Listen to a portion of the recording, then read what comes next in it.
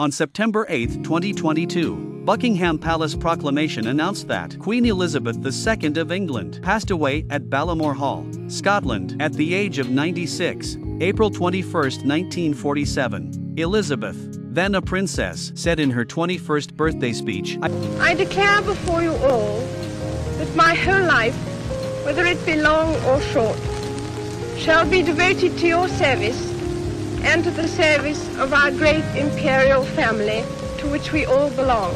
Elizabeth II was born on April 21, 1926. She was the eldest daughter of the late King George VI. She was the longest reigning monarch in history. Elizabeth had a peaceful and happy childhood. She and even her parents, the Duke and Duchess of York, never thought of succeeding to the throne. Yet in 1936, Elizabeth